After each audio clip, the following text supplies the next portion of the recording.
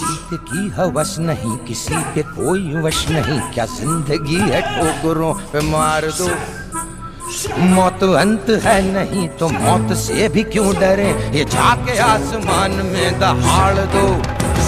आरंभ है प्रचंड बोले, मस्तकों के झुंड। आज जंग की घड़ी की तुम हार दो। आन पान शान या की